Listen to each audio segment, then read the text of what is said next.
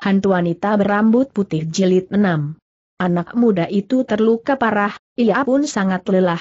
Begitu ia roboh dari kudanya, tak dapat ia merayap bangun, maka Pengteng membantu ia berdiri. Sebenarnya kau siapa tanya Pengteng? Hi, Nona Cilik, kau banyak omong kata anak muda itu. Jikalau kau suka tolong aku, lekas panggil Tiat Hui Liong. Keluar. Jikalau tidak, tolong kau hunus golokku dan serahkan itu padaku. Pengteng heran atas sikap orang itu. Sebetulnya masih hendak ia bertanya pula, akan tetapi melihat lukanya orang itu, ia merasa kasihan. Waktu itu di luar kampung terdengar pula suara kelendengan kuda, tapi masih samar-samar. Sudah tidak keburu teriak si anak muda. Mari golokku buat apa golokmu tanya si Nona, yang menjadi bertambah heran. Biar mesti mati, tak sudi aku jatuh dalam tangan orang jahat sahut si anak muda. Orang ini polos, pikir Pengteng. Dia lebih suka terbinasa daripada terhina, dia bukannya orang jahat, maka ia lantas berkata, baiklah, akan aku tolong padamu. Suara kuda mendatangi terdengar semakin tegas. Tidak tunggu lagi, Pengteng peluk anak muda itu, lalu diangkat dan diletakkan di tepi jalan di mana terdapat tumpukan jerami gandum, hingga tubuh orang itu tak terlihat.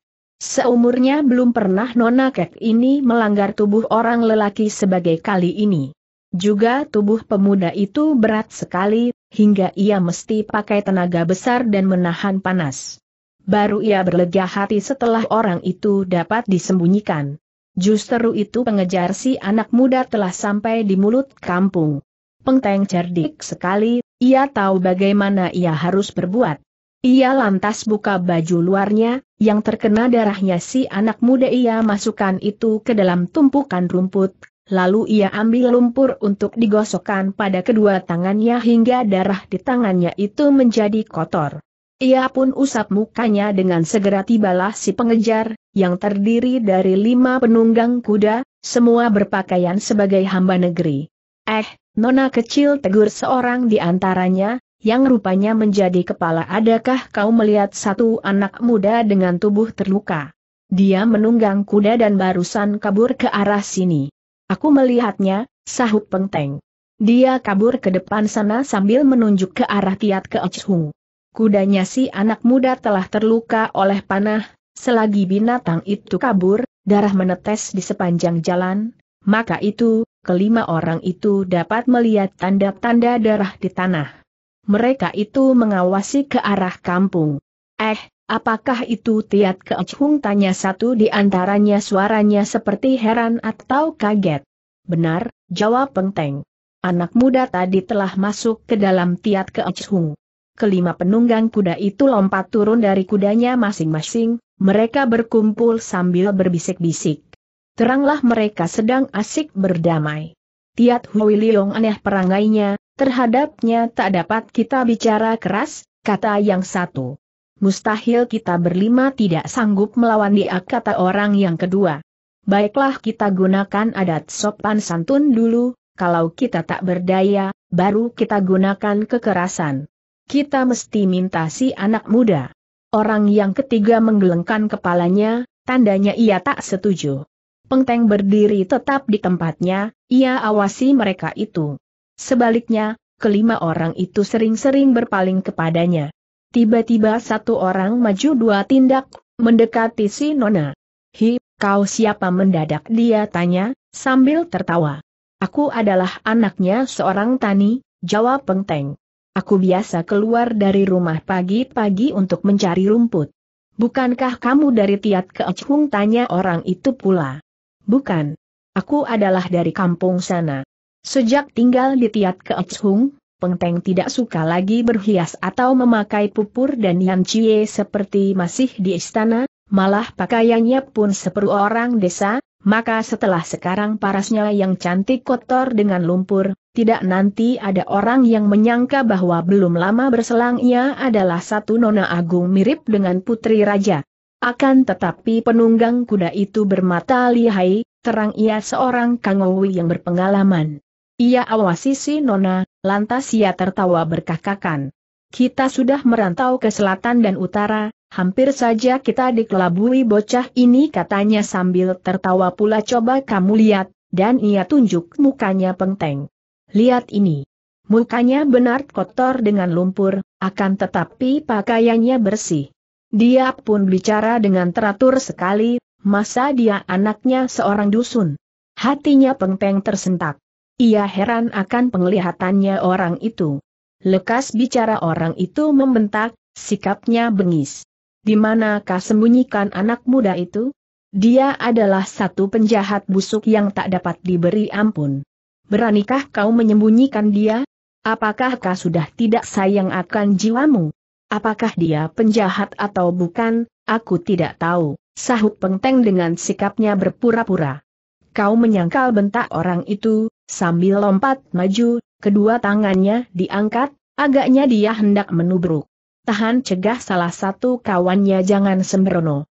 Baik tanya dulu, dia pernah apa dengan Tiat Hui Liong, gadisnya Tiat Hui Liong sudah mati kata orang yang bengis itu.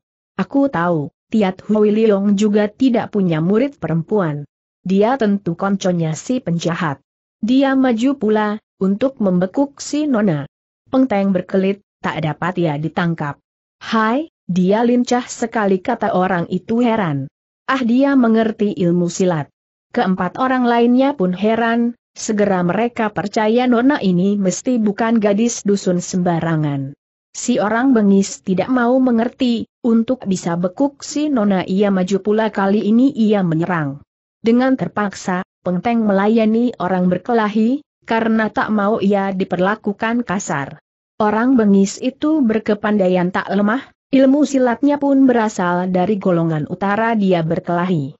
Dengan gunakan pat kuaciang, hebat gerakan kaki tangannya. Pengteng telah perlihatkan kepandaiannya, warisan dari Anghoa Kuibo. Ia belum mencapai kemahiran gurunya itu tetapi ia berhasil membuat penyerangnya itu kewalahan. Pasti sekali bocah ini ada konconya si penjahat itu, mari kita ringkus padanya kata satu penunggang kuda lainnya, apabila ia saksikan sampai sebegitu jauh kawannya masih belum berhasil membekuk si Nona. Nyata kelima orang itu adalah busung atau pengawal pahlawan dari Tan Kiajie, Congtok dari Siam Sai, dan mereka bertugas untuk menawan si anak muda. Mereka pun terdiri dari dua golongan.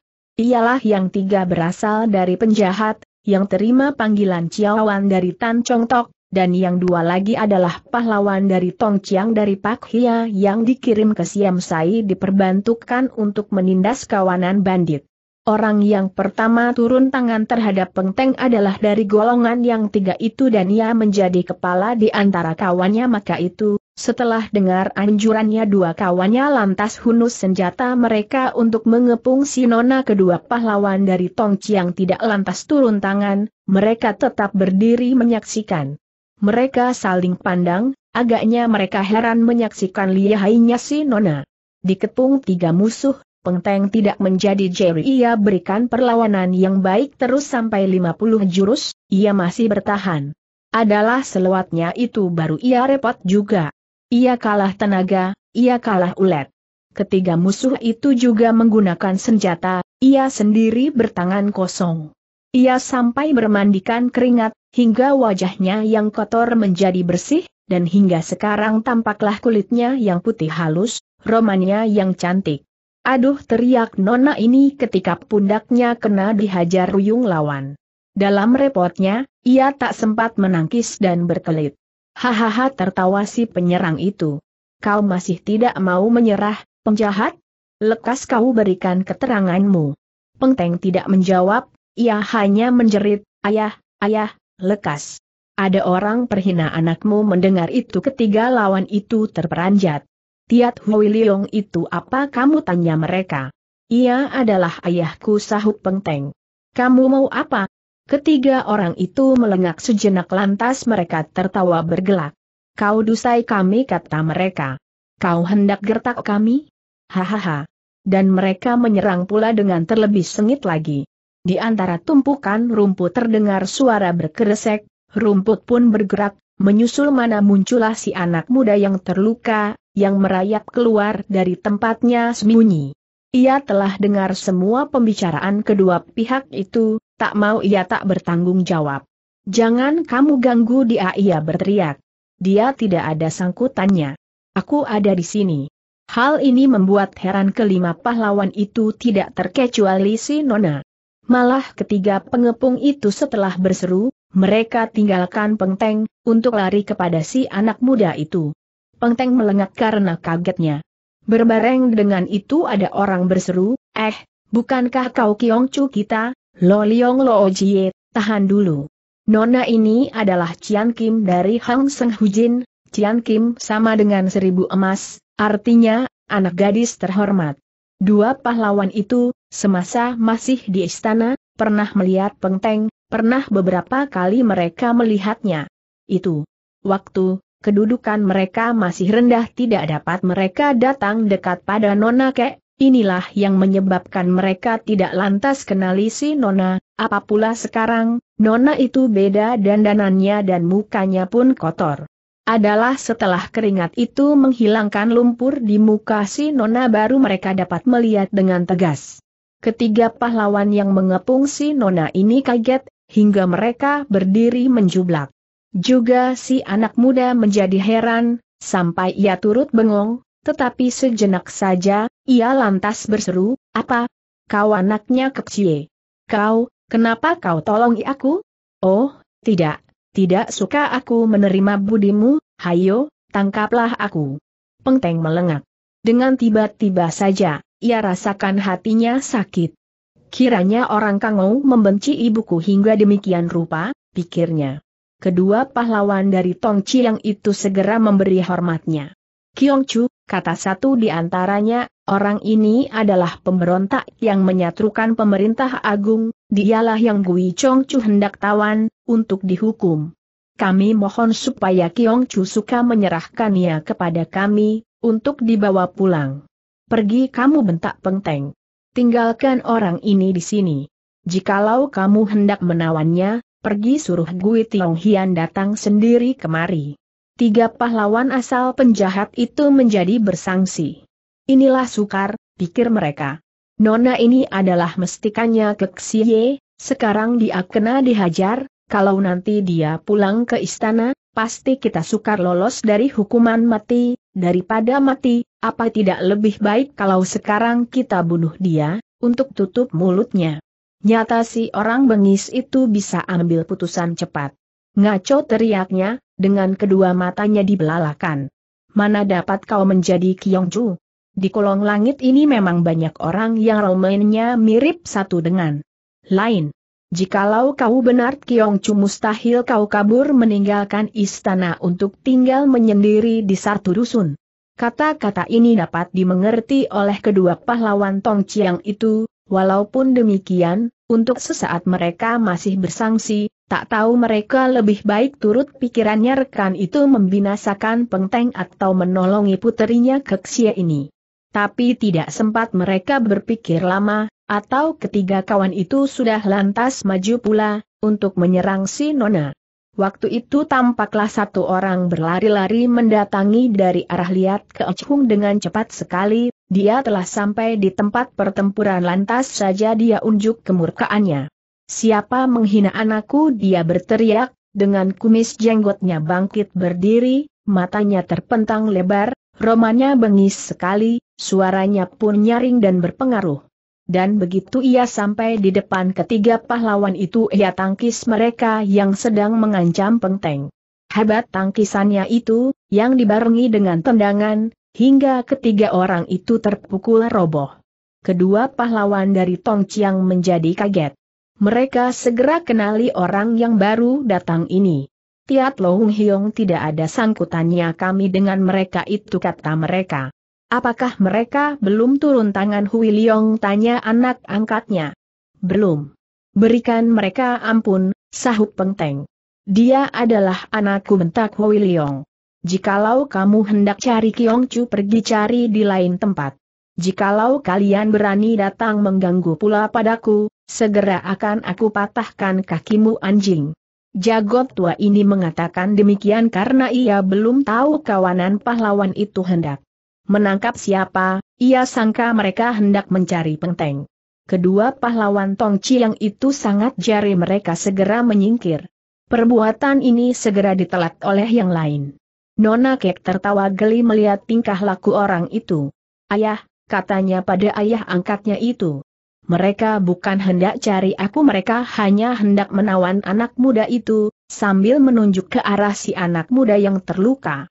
Hui Leong segera memandang ke arah yang ditunjuk itu. Tadinya aku sangka kaulah yang lukai dia, kata ayah. Ini. Eh, kau siapa ia terus tanya pemuda itu. Bukankah kau anak tolol yang baru-baru ini ikut Tong Chiao? Anak muda itu niat bicara sedan ari tadi, tapi tidak sempat. Sekarang, setelah ditanya, ia lantas tertawa. Benar, demikian sahutnya. Lo Jan Ke kuat ingatanmu. Aku adalah Pedbin. Sumoaiku pernah tinggal di rumah Lo Jin Ke. Hui Leong tidak ingat akan namanya karenanya ia menyebutnya si anak tolol, ia tertawa mendengar anak muda itu tidak menyangkal. Aku sudah tua, ingatanku sudah berkurang, katanya. Harap kau tidak kecil hati. Eh, ya, kenapa kau terluka? Coba kau berikan keterangan padaku. Aku dititahkan saudara Chiao Hie mengunjungi Lo Jin Ke, kata Pek Bin. Hui Leong heran. Dia sedang membantu Giamong, pasti dia sedang repot dengan urusan ketentaraan, tetapi ia toh masih ingat aku, katanya.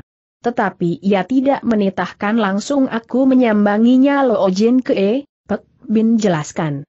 Dia memesan, apabila aku lewat di sini, supaya aku perlukan berkunjung. Sebenarnya panjang untuk diceritakan. Hui Leong girang melihat orang bicara secara jujur itu. Tetapi ayah, Pengteng menyelak. Dia terluka parah. Baik ajak dia pulang dulu, supaya dia dapat beristirahat, nanti baru ayah ajak dia bicara. Ah aku sampai lupa tertawa ayah angkat itu. Aku pelupa, kalah aku dengan kau. Tapi jangan khawatir tentang lukanya, walaupun nampaknya dia terluka hebat, dia cuma terluka enteng bekas golok atau panah. Aku tanggung dalam tempo lima hari aku dapat mengobati dia hingga sembuh. Pek Bin mempunyai tubuh kuat, dugaan Hui Leong tidak salah. Malah baru selang tiga hari, dia sudah dapat bergerak dengan leluasa. Pengteng segera juga bergaul dengan anak muda ini, yang karena polosnya tampak tolol. Selama di istana, ia biasa menghadapi segala kedustaan, atau akal muslihat, pada Pek Bin, ia tampak kejujuran. Pek Bin sebaliknya, dapat bergaul dengan siapa saja. Hui Leong heran menampak sikapnya Peng itu, di dalam hatinya ia merasa lucu. Dasar jodoh manusia katanya di dalam hatinya. Peng yang biasa hidup mewah dan dimanja dapat bergaul dengan bocah tolol ini. Tetapi walaupun demikian, jago tua ini tidak menghalang-halangi. Sekarang, setelah sembuh dari lukanya, Pek Bin tuturkan pengalamannya. Li Chuseng, sesudah mengundurkan diri ke pegunungan Cinia, setelah dapat beristirahat beberapa tahun, berhasil mengumpulkan tenaganya. Kemajuan juga telah diperoleh tentara rakyat di Siam Sai dan Soasai selama dua tahun yang terakhir ini. Maka Li Seng lantas mengatur persediaan untuk kembali ke Siam Sai, supaya dia bisa muncul pula di kota Tongkuan untuk mewujudkan cita-citanya. Untuk itu terlebih dahulu ia serahkan tanggung jawab kepada Ong Chiao Hie, putra dari Ong Ki In bekas pemimpin umum dari pelbagai rombongan tentara rakyat di Siam Sai Utara. Dan untuk menunaikan tugasnya, Ong Chiao Hie mengirim Pek Bin untuk mewartakan dan meminta pelbagai pemimpin tentara rakyat di Siam Sai dan Soasai itu nanti mengadakan pertemuan umum. Mereka yang berada di Siam Sai telah dapat dihubungi, dan yang di Soasai telah ditetapkan akan berkumpul berselang tujuh hari di Gunung Tiong Tiao San, gunung mana terpisah dari Tiat ke Achung kira-kira 300 li. Maka itu Ong Chiao Hie memesan pada Perbin, setelah ia selesai, supaya diperlukan mampir di Liong Bun, guna menyambangi Tiat Hui Liong. Tapi di luar dugaannya orang-orangnya Tan Kia Jie dapat tahu tugas dari Pek Bin itu, mereka lantas menyusul, belum lagi Pek Bin sampai di Liong Bun, dia telah kecandak dan dikeroyok hingga dia mendapat luka-luka, dia terus dikejar tak hentinya, sampai dia datang dekat Tiat ke Achung karena dia tak tahan lagi, dia roboh, hingga dia ditolong Pengteng, yang melindungi padanya. Dia ada satu laki-laki, maka ketika ia lihat si Nona dikepung, dia menjadi tidak senang, dia merasa malu terhadap Nona kek, maka itu, tak peduli akan luka-lukanya, dia muncul lu untuk menolongin Nona itu. Syukur untuknya, Hui Liong keburu datang. Saudara Chiao Hie sudah siap, lagi dua tiga hari dari tanggal pertemuan, pasti akan tiba, Pek Bin menutur terempat tebi jauh. Dia suruh aku menantikan di sini. Dia pun mengandung maksud untuk mohon Lo Ojin ke E turut ambil bagian dalam gerakannya itu. Hui Liong urut-urut kumis jenggotnya sambil tertawa. Aku sudah tua, sudah tak berguna katanya. Mungkin anakku ini kelak dapat membantu. Bukankah dia anaknya keksie tanya Perbin. Hui Liong tidak menjawab, ia hanya menoleh kepada anak angkatnya. Mereka itu menyatrukan pemerintah, tak dapat mereka itu berdiri sama-sama Gui Tiong Hian, sudikah kau membantu mereka ia tanya anak itu. Bila ayah mengatakan aku boleh membantu, maka nanti, sesudah selesai pelajaranku, pasti aku bersedia memberikan tenagaku sahut Seng anak. Mendengar itu, Pek Bin pentang lebar kedua matanya. Segera juga berubahlah pandangannya terhadap si nona gadisnya Keksie. Hui Liong pun lantas ingat halnya dahulu ia pernah niat merekoki jodoh gadisnya dengan Ong Chiao Hie. Apakah Chiao Hie telah menikah dengan Nona Beng tanyanya? Aku malah sudah mempunyai keponakan umur dua tahun sahut Pek Bin dengan gembira. Beng Sumuai itu, orangnya kecil dan pendiam, akan tetapi bayinya putih dan montok sekali dan sangat bengal. Ya, Beng Sumuai juga ingin melihat kau, Lo Jin ke E. Aku juga ingin melihat mereka, kata Hui Leong. Dua hari berselang dari hari yang dijanjikan, Ciao Hie tidak muncul, hal ini membuat Perbin bergelisah. Mari kita papak dia, Hui Liong mengajak. Bukankah lukamu sudah sembuh benar? Ya, sudah sembuh jawab Perbin. Maka bersama-sama Pengteng, mereka berangkat ke arah Tiong Tiao San. Selagi Hui Liong bertiga menuju ke Tiong Tiao San, di tepi gunung tampak satu orang sedang berjalan seorang diri. Dialah Tuit Heng, yang kabur dari gunungnya sendiri. Maukah dia menemui aku? Apakah dia akan pedulikan aku demikian anak muda itu tergoda pikirannya. Inilah gangguan, yang tidak dapat ia singkirkan. Pemecahannya, ia tahu adalah nanti, setelah ia bertemu dengan Giok Loset. Karena itu bulat tekadnya untuk mencari si raksasi Kumala, tak peduli orang nanti suka menemui dia atau tidak, tak peduli ia mesti pergi ke ujung langit atau ke pangkal lautan. Tetapi, ke mana aku mesti cari dia tanyanya berulang kali seorang diri. Karena kerasnya Wit Heng berpikir, sampai ia ingat kepada Tiat Hui Leong. Hui Leong adalah ayah angkatnya Giok Loset, tentu ia ketahui tentang anaknya itu. Atau mungkin Giok Loset berada di rumahnya. Maka jalanlah LT Heng siang dan malam, melawan angin, menggadangi sinar rembulan. Ia hanya singgah atau bermalam apabila ia butuhkan itu dengan sangat. Demikian sampailah ia di Owapak, dari sana ia menuju ke Sucoan, lalu memasuki Siam Sai dari mana ia maju terus ke Soasai. Beberapa bulan telah lewat, hingga dari musim rontok sampailah ia di musim dingin, dan daun-daun yang rontok diganti dengan beterbangannya salju-salju bagaikan bunga. Demikian hari itu, tibalah ia di Tiong Tiao San, dari sana, kira-kira 300 li lagi ia sampai di Tiat ke Echung. Keadaan langit waktu itu mendung, karena kecuali hari sudah larut, salju pun turun makin lama makin lebat. Lagi dua hari, akan bertemulah aku dengan dia, demikian pikir Chiang Bunjin dari Butong Pei maka ia tak jeri terhadap hawa yang sangat dingin itu, yang seperti menyerang sampai kepada tulang-tulang sumsumnya. Di samping itu, ia rasakan hatinya panas.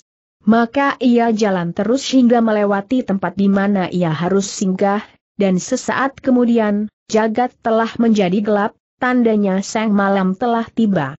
Jalan di tanah pegunungan ada sukar, apa pula dilakukan di waktu malam dengan tidak ada sinar bulan, dan salju tersebar di sekitarnya. It Hang memandang keempat penjuru, ia jalan terus. Hawa dingin mengganggu hebat, apa pula itu waktu, perutnya sudah meminta makan. Ia telah berjalan jauh, ia menjadi letih sekali. Akhir-akhirnya tibalah Hit Hang pada sebuah kuil tua, di mana penduduknya menghormati malaikat gunung, akan tetapi di musim dingin seperti itu, kuil itu tidak pernah didatangi orang-orang yang bersujud, keadaannya sangat sunyi, hingga di sana kampret dan burung-burung hutanlah yang bertempat tinggal dengan sarang-sarangnya. Melihat ada manusia datang, semua binatang bersayap itu kaget dan beterbangan. Biarlah aku berkawan dengan burung-burung, malam ini aku tidur di sini, berkata It Hang dalam hatinya. Di dalam kuil malaikat gunung ini, It Han mencari air dingin, yang ia pakai untuk menurunkan rangsum kering yang ia bekal, kemudian ia singkap kelambu dari patung malaikat itu, hingga di belakang meja ia tampak satu ruang lega di mana ia dapat merebahkan diri. Pada mulanya ia berpikir untuk beristirahat saja, akan tetapi karena letihnya, tak lama setelah ia meletakkan kepalanya ia jatuh tertidur. Berapa lama ia sudah tidur, It Hang tidak ketahui. Ia hanya tampak dalam tidurnya itu, Giok Loset bertindak. Menghampiri ke arahnya. Dengan sekonyong-konyong si Nona berseru nyaring dan panjang, lah kaget, segera ia mendusin. Sesudah sadar, rasanya masih belum lenyap seruan itu dari kuinya. Hanya sejenak kemudian, seruan itu berubah dengan pekik hebat dari burung hantu, hingga ia terkejut. Bukankah aku sedang bermimpi tanya Rit Heng dalam hatinya. Ia terbenam dalam keragu-raguan. Apakah benar-benar Mcie Lian yang datang? Bukan, bukannya dia. Seruannya tidak demikian mengejutkan, seruan ini adalah menakutkan. Sedangnya Yit Heng berniat menggerakkan tubuhnya, untuk merayap bangun, kupingnya mendengar tindakan kaki orang yang berjalan masuk ke dalam kuil. Lekas-lekas ia menyingkap ke lambu, untuk melihat, lah menjadi kaget sampai hampir ia perdengarkan seruan. Di paseban di mana terdapat tumpukan salju, yang sinarnya putih bergemerlapan, ada dua makhluk yang menakutkan, sebab romannya adalah tiga bagian manusia, tujuh bagian hantu, mukanya pucat, tak ada darahnya, dan kedua makhluk itu tengah tertawa, suara tertawanya menyebabkan orang menggigil sendirinya. Rambut kedua makhluk itu terurai, tubuhnya kurus dan jangkung, keduanya mirip satu pada lain. It Hang tabahkan hatinya untuk dapat mengawasi terus. Lo Jie, mari kita gertak dia, untuk membuat dia takut. Begitu ia dengar makhluk yang satu berkata, kepada kawannya. Lalu ia merogoh sakunya, untuk mengeluarkan dua benda bundar, apabila Hit Hang mengawasinya dengan tegas, ia dapatkan itu adalah dua kepala manusia. Makhluk yang membuka suara itu menghampirkan meja, di atas itu, ia letakkan kedua kepala itu. Dengan diletakkannya kedua kepala itu, It Hang tidak dapat melihat lagi orang itu, ia hanya dengar bunyinya letusan api, menyusul mana terlihat cahaya api dan asap yang menyepatkan mata. Ia tidak tahu, apa yang kedua orang itu perbuat. Tidak lama antaranya, di luar kuil terdengar suara kuda berbunyi. Mendengar suara kuda itu, kedua orang itu lompat bangun. Sungguh saudara Ong sangat boleh dipercaya berkata mereka. Benar-benar kau datang pada waktu yang tepat. Di sini ada sahabat kekalmu sedang menantikan. Dari luar segera terdengar jawaban. Sien Lo Toa, Sien Lo Jie, kamu datang siang sekali demikian suara itu, rupanya dari si orang Siong sebagaimana dia disebutnya tadi oleh kedua orang itu. Siapa lagi yang kamu janjikan untuk datang kemari? Apakah tidak lebih baik untuk kita bicara dahulu dengan jelas? It Hang heran. Ia kenali suaranya si orang Siong itu. Itulah Hong Chiao Hie. Seumurnya, It Hang hanya mempunyai dua sahabat kekal. Yang satu adalah Gak Bieng Kie, dan yang lainnya adalah Hong Chiao Hie. Dengan Chiao Hie ia berlainan paham akan tetapi hati mereka cocok satu dengan lain, maka itu dapat mereka bersahabat. Sekarang It Heng dengar suara sahabat itu, ia heran berbareng girang. Di pihak lain, ia pun terkejut mendengar pembicaraan mereka itu. Itulah suara dari permusuhan. Sin Lo Toa.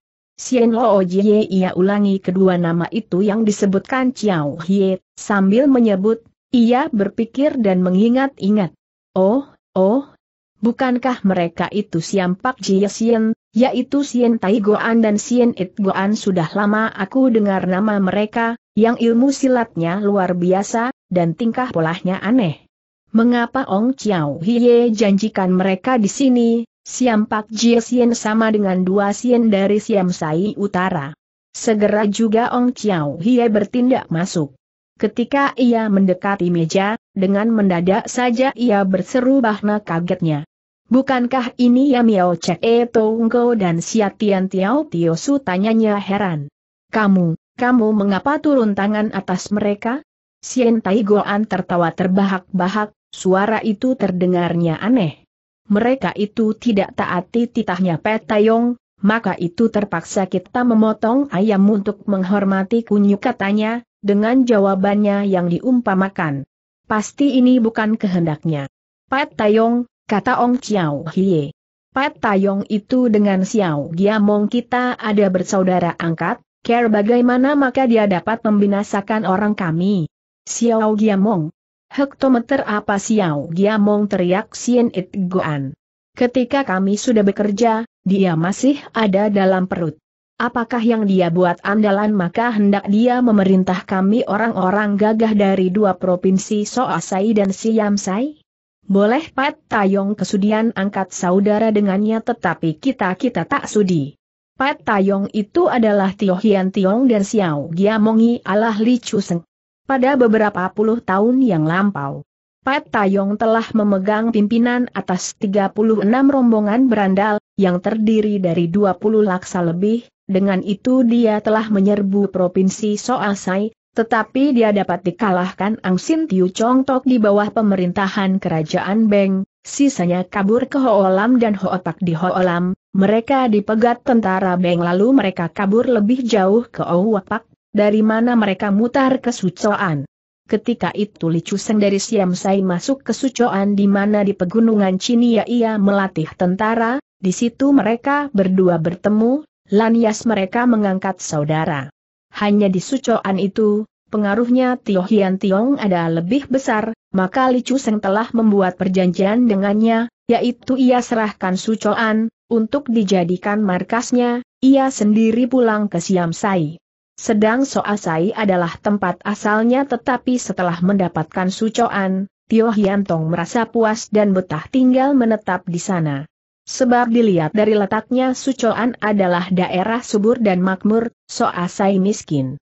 Tentu saja senang ia membiarkan Li Chuseng berkedudukan di provinsi Soasai itu.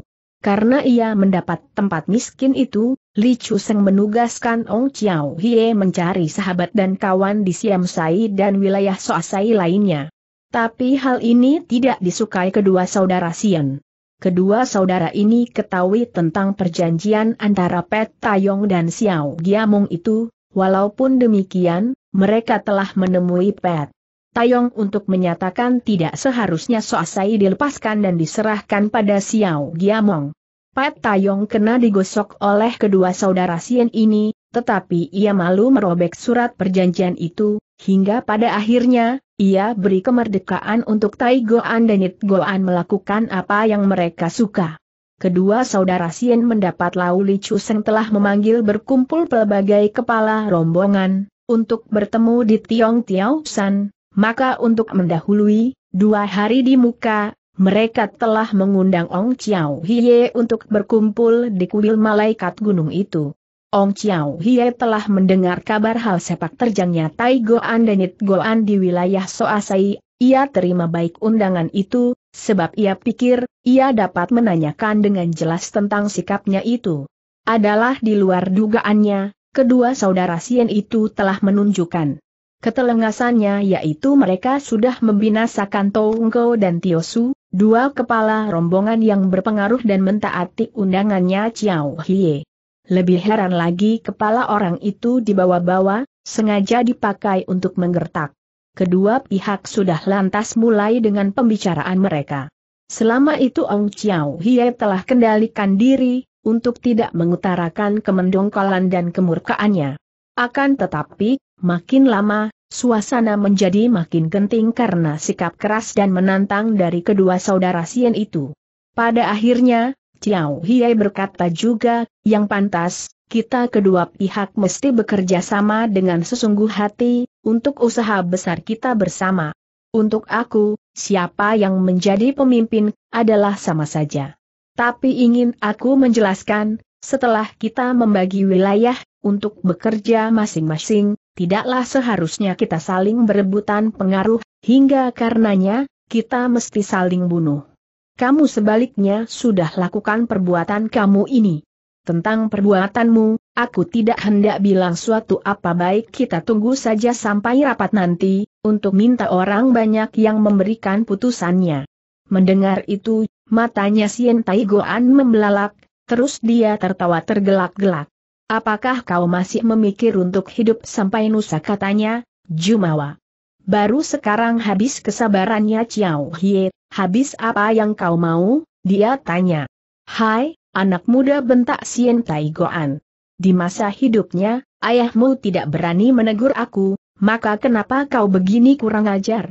Tidak ada lain jalan, kami terpaksa mesti minta kau ambil jalan yang sama dengan Yamiao Chu dan Tian Tiao. Apakah kamu berani melakukan itu bentak Xiao Hie? Sien Tai Goan tertawa terbahak-bahak. Kenapa kami tidak berani dia membaliki? Dan dia lompat, dengan sebelah tangannya menyambar.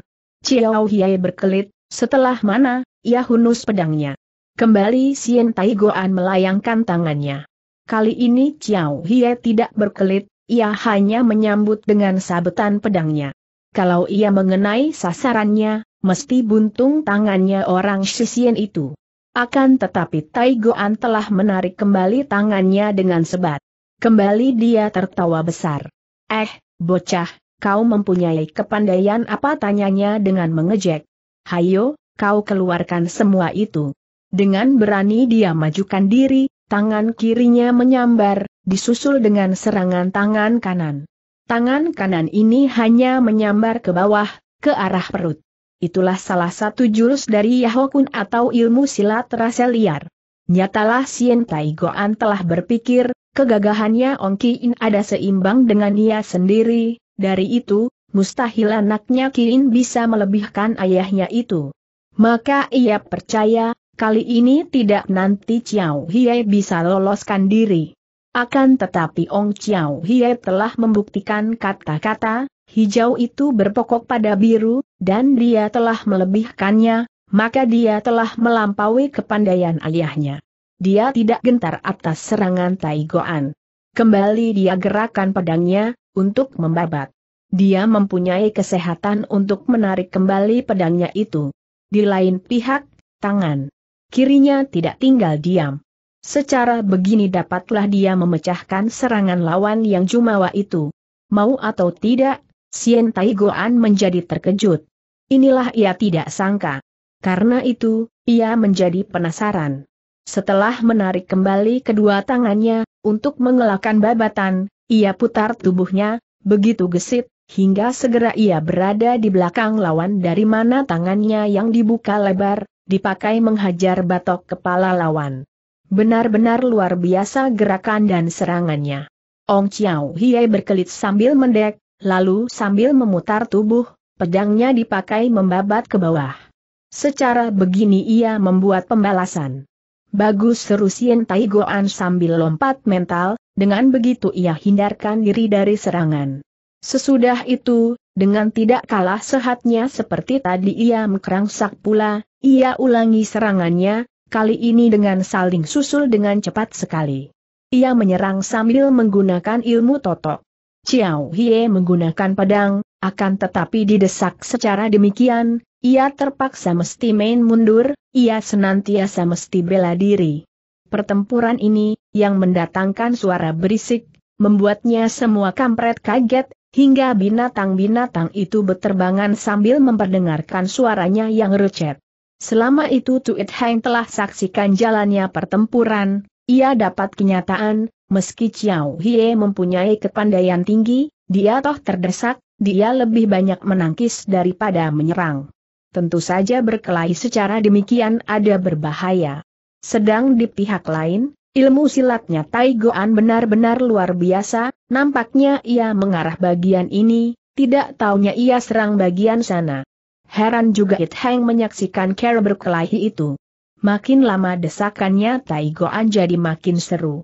Perlawanan dari Chiao Hie tetap hebat, akan tetapi, kalangannya menjadi semakin ciut, pedangnya berkilauan bagaikan biang lala. Koko, jangan cuma libat dia, lekaslah kirim dia pergi Sien It Goan berteriak sesudah lama ia saksikan care kakaknya berkelahi itu. Ia menjadi hilang sabar. Baik jawab Tai Goan, kakak itu kau boleh gunakan tangan berat untuk gempur bebokongnya. Nyata sudah biasa kedua saudara Sien ini, bila mereka menemui lawan yang tangguh, yang tak dapat dirobohkan dengan seorang diri, lantas mereka main kepung.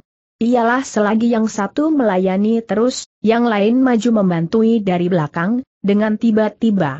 Tai Goan dan It Goan memandang enteng kepada Chiao Hie, itulah sebabnya kenapa si kakak yang maju terlebih dulu, tetapi segera terbukti, pandangan mereka keliru, benar Tai Goan menang di atas angin tapi dia tak sanggup segera menjatuhkan lawan itu. Maka Yit Goan tidak suka berlaku ayah lagi. Dengan segera ia serukan kakaknya. Dan begitu lekas ia peroleh jawaban dari Seng kakak, ia segera maju menyerang. Sekarang Chiao Hiye dikepung berdua, satu di depan, satu di belakang. Tentu saja ia menjadi semakin repot, hingga ia memikir untuk angkat kaki. Tidak mau ia dirobohkan kedua lawan yang curang itu. Sambil berkelahi, Sien Tai Goan perdengarkan tertawa ejekannya yang nyaring. Kecuali malaikat kuil ini perlihatkan diri, untuk menolongi padamu, walau kau memikir untuk kabur, tidak nanti kau dapat lakukan itu katanya dengan godaannya. Ia juga desak lawannya, yang mesti main mundur, hingga di lain saat, orang Siong itu terdesak sampai di dekat meja suci. Kembali Sien It Goan kirim serangan bokongannya, begitu hebat, ketika serangan itu gagal, tirai di belakang meja menjadi tersingkap. Akan tetapi berbareng dengan itu, dari belakang tirai itu menyambar satu sinar hijau bagaikan kilat, atas mana Sien Tai keluarkan jeritan dari kesakitan. Sebab kakinya telah terkena tusukan pedang secara tiba-tiba. Tusukan pedang itu dibarengi dengan suara tertawa dan disusul dengan kata-kata, aku si malaikat gunung datang. Ong Chiao Hie segera lihat munculnya satu orang dari belakang tirai itu, malah ia segera mengenalinya, hingga tak tahan dia untuk tidak berseru, ah, saudara Tu, Kenapa kau ada di sini? Tu It Hang, orang yang baru muncul itu, tidak menyahuti, dia hanya lantas berkata, mari kita bereskan kedua manusia jahat itu. Sebentar baru kita pasang ngomong. Dan dengan pedangnya, ia terus serang Sien It Goan. Chiao Hie menurut, ia segera hadapi Sien Tai Goan, yang tidak terluka parah, hingga dia masih dapat berkelahi. Sien It Goan lantas kenal Liet Hang, ia jadi tidak memandang mata. Ia malah maju mendesak. Begitulah selagi tangan kirinya mengancam, untuk merampas pedang, tangan kanannya menyambar ke dengkul. Untuk ini ia pasang kuda-kuda rendah. It Hang tarik kembali pedangnya sambil lompat berputar, dengan begitu, meski Sien It Goan berlaku sangat sebat, serangan kepada dengkul tidak mengenai sasarannya. Tanpa merasa, ia menjadi kaget sendirinya. Di pihak lain, It Hang memutar terus tubuhnya, hingga ia jadi berbalik menghadapi pula lawannya itu. Ia juga berlaku sangat gesit, maka berkelebatlah pedangnya dengan sinarnya yang hijau. Ia telah menyerang dengan tipu silat Sengliong In Hong atau menunggang naga untuk memancing burung Hong, dan Brad. Karena kagetnya, bajunya Yit Goan kena kesambar pedang hingga robek. Untung untuknya, ia berkelit dengan cepat, jikalau tidak, tentu pedang itu mengenai tubuhnya. Hal ini membuat ia kaget berbareng gusar sekali.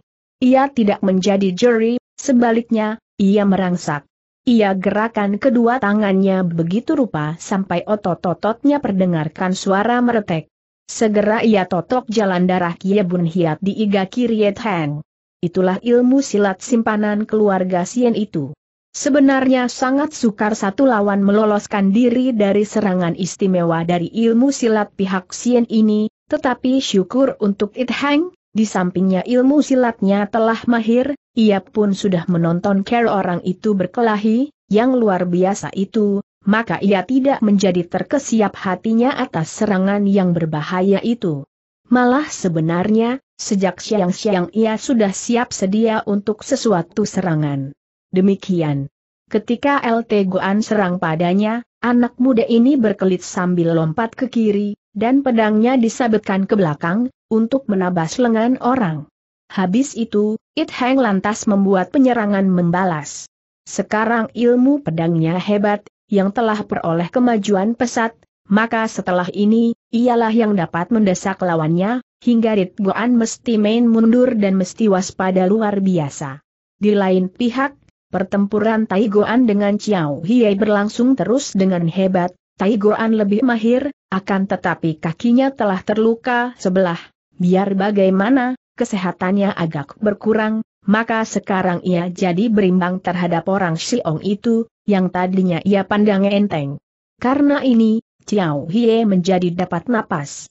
Ia pun, teriah mendapat hati karena munculnya Rit Hang tanpa disangka-sangka, maka setelah berkelahi dengan hebat, ia mulai menang di atas angin. Tai Goan kena terdesak. Sesudah bertempur pula sekian lama, Sien Tai Goan dan Sien It Goan insaf bahwa mereka tidak bakal peroleh hasil, oleh karena itu, mereka lantas saling memberi tanda, untuk sama-sama menyingkirkan diri. Ong Chiao Hiei benci sangat kedua orang ini. Terang sudah mereka telah merusak usahanya Giamong. Maka itu tak mau ia memberi ketika pada mereka akan angkat kaki, ia mendahului lompat ke pintu, untuk menghalang musuhnya. Sien Tai Goan terluka pada kakinya, karena itu tak dapat ia lompat dengan leluasa, tak dapat ia susul lawannya itu akan lari ke pintu, di samping itu ia pun repot atas desakannya Chiao Hie. Keadaannya Sien It Goan ada lebih buruk lagi daripada kandanya itu, It Hang tidak sudi mengasihati, ia telah putar pedangnya dengan apa ia kurung lawannya ini hingga walaupun dia tangguh, It Goan toh kewalahan. Selagi keadaan ada demikian genting untuk kedua saudara Sien, di luar kuil dengan mendadak terdengar riuh suara kuda disusul dengan berisiknya serombongan orang, yang rupanya telah lompat turun dari kudanya dan terus berlari-lari mendatangi. Ong Chiao Hie tegur Sien Tai Goan dengan dampratannya. Kenapa kau tidak hargai kehormatanmu? Kenapa kau janjikan kawan untuk curangi kami? Orang Sisien ini berani menegur demikian tanpa berpikir bahwa mereka sendiri sudah berlaku curang telah mengeroyok lawannya. Tapi juga Chiao Hie heran dan ia menyangka dua saudara Sien itu telah minta bantuan kawan, maka, mendengar tegurannya lawan ini, ia terkejut. Apakah kamu tidak janjikan kawanmu dia tanya. Kalau begitu, jangan kita bertempur terus. Itulah tentara negeri yang datang. Segera juga terdengar pintu kuil digempur hingga pecah dan roboh, menyusul mana belasan busu menerjang masuk, yang menjadi kepala segera dikenali adalah Lian Seng Ho dan Kim Chian Giam.